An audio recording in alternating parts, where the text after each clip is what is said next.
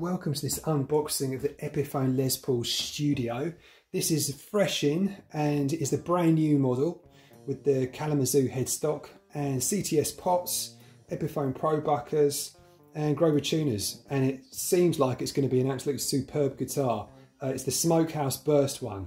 So we will get straight into this. So it comes in this rather nice box. This one's already been opened I think by the, um, the guitar store that I went to.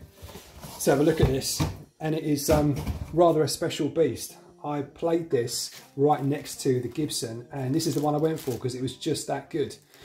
For the money, for the money you cannot argue, um, given that it is far, far less, less expensive than the Gibson and gives you something which is so close to the sound and feel. These days, they're absolutely knocking it out of the park, Epiphone. Um, so you can see it comes with all of this paraphernalia. This is mainly stickers, so you get Epiphone sticker, you get lifetime warranty information, you get an app piece of paper there, there's a few more stickers in here. I did kind of wonder whether it might actually come. There you go, another sticker, Epiphone. There you go, another Epiphone sticker there. A couple more stickers, more stickers, Gibson featuring Gibson strings, no, no, no. I think that must have been tied onto it. So it comes with a whole load of that sort of paraphernalia. But yeah, there's no um, sort of poker chip or anything in there, um, unlike a normal, say, standard or something like that. Comes in this nice little sheath um, to keep it. Oh, you can hear it already going there. And it's quite nicely boxed actually. If you look at this box, you can see it's quite nicely held in the backside there.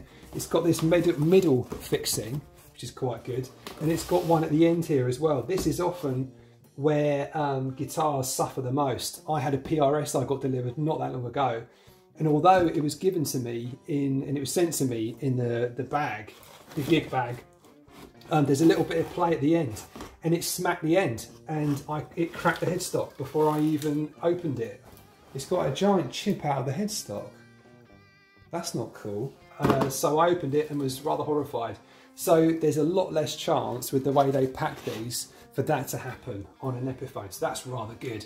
So you can see, here we go unveiling the headstock, unveiling the fretboard, all that good stuff. And you can see what you get you pull this back. It is a rather incredibly nice looking guitar. Um, very, very pretty indeed. And um, hopefully you can see that smokehouse burst covering there. Still got the plastic on the pickups there, as you can see. And um, yeah, the fretboard the wood on there looks really nice. So I'm just sort of giving my first impressions of this. I'm going to do a full deep dive review on this guitar. Of course I will. Um, so I'm going to go into the back of the guitar. I'm going to go into everything to do with this guitar, um, including the neck profile, weight, all that good stuff. I can already feel that it's a lot. It feels a lot lighter than my Slash Les Paul, which was not tipping the scales at about four kilograms. I've got an Epiphone Traditional Pro as well. That's tipping the scales nearly four and a half kilograms. So, I mean, that was mental. Um, but this actually feels, and look at that beautiful headstock. I love that new design. That's so much closer to what the Gibson looks like. Um, and you can see, hopefully see the fretboard in there. There you go. So you can see, actually, that's got beautiful figuring on it. That fretboard looks really, really nice. It's just, um, it's lovely work.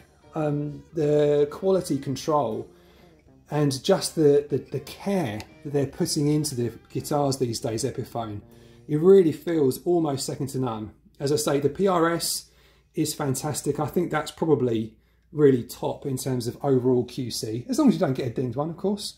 Um, but this is really, it's getting there. It's, they're getting closer and closer. They're making great efforts, great strides, I feel, Epiphone. But it really looks absolutely sweet really, really looks good.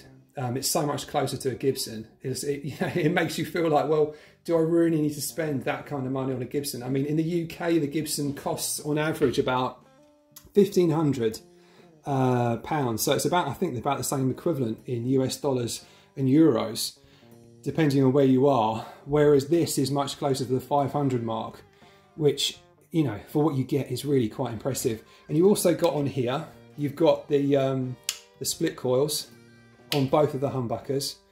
And I already know, I mean, I, I tried this through um, a Boss Katana Mark II, I think it's the 100 watt version in the shop, which is what led me to this. and it just sounds absolutely, I already know it sounds amazing. I already know it sounds amazing. I already know it feels amazing. And um, yes, I'm very excited to cover this one. And yeah, there'll be much more coverage of this guitar. You can see actually they've got the metal covering for the jack plate there as well. That's that's nice. So that's just like a, a more sort of a, of a high-end thing as well. I'm hoping that what I'm going to see on the bridge eh, are the clips because that's something that they do add as well on a lot of the, the more sort of upper end, high end Epiphones. From what I can see, from what I've seen of the specs so far, they have really gone to town on the specs of these. I'm not quite sure how they can afford it. Obviously, it is made in China, so obviously it is costing them less to produce. Having said that, and uh, watching the factory tour of the Chinese factory not that long ago, it really is. They, they put a lot of work into the guitars and they've got really efficient processes there. If anything, they should really do an update video because I think that one's at this point, while I'm filming this, is about seven years old. So it would definitely benefit them, I feel, to do a full sort of new video tour because they've, I really feel like they've upped the, upped the standards. Um, I also own a South Korean Epiphone Les Paul Studio, a black one from uh, 1998 that's a superb guitar. That's in black. I've got a review of that on the channel as well if you want to check that out. And that's a great guitar, really, really nice. But I really feel the, the quality of this, so far from what I've seen, especially, you know, the CTS pots, Grover tuners, all that stuff, the split coils, it really is it really impressive. And if you look at that finish, it is now so close to what the Gibson looks like. Obviously, the Gibson is it has the edge in terms of the finish, I think. But it really, again, it really depends on which Gibson you end up with. It depends on which guitar you exactly select. You go into Sweetwater, for example, you can see exactly what kind of figuring you get. I think I've been incredibly lucky with the figuring on this one. It really looks gorgeous. So um, yeah, I really can't complain. I'm very excited to cover this in more detail and you'll be seeing hopefully a lot more of this guitar on the channel, I feel, as I get more and more into it with this one. Obviously, I think this the fretboard on this is Indian Laurel but you can't really tell it very far apart from rosewood, I feel. It's got the pearloid, uh, pearloid trapezoid inlays as well, looks good. As far as I can feel, on initial feel, the, um, the fret ends actually feel very smooth as well. No issues there whatsoever. Um, standard uh, standard strap locks there, uh, so they're not. They're not. this. It doesn't come with like a with a with a locking mechanism or anything. It's just this just standard strap buttons, I should say. Um, whereas I think some of the higher end models do. Uh, certainly my Slash came with strap locks. This one is just very sort of basic, very normal. It's, but again, I'm sure they will do the job. I normally, I think like a lot of people, and probably you will as well, if you do get one of these, you might want to put your own strap locks on it anyway. So, um, so yeah, it's not really a big deal. Anyway, it feels lovely. It's very nice and smooth. Uh, I find it very agreeable so far. Looks like a real beauty and there'll be a lot more coming on the channel about this guitar for sure in the near future. So please watch out for that. In the meantime, please do check out my other reviews. I've got PRS on here. I've got a few different Epiphones, various guitars, Ibanez, you name it. And um, it keeps growing. So um, yeah, please do check them all out.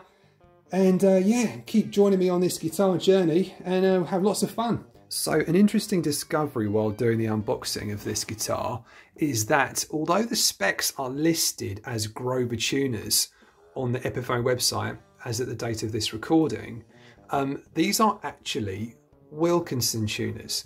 Now they are apparently just as good as Grover tuners. My experience with them so far is that they are actually of excellent quality. Um, and it seems that um, Epiphone are in the process of switching over to Wilkinson rather than Grover because of some supply chain issues. Um, so there you are, an interesting, interesting one for you there. And just something to note, you might get one that's got Grover tuners or you might get one that's got Wilkinson. Okay, cheers.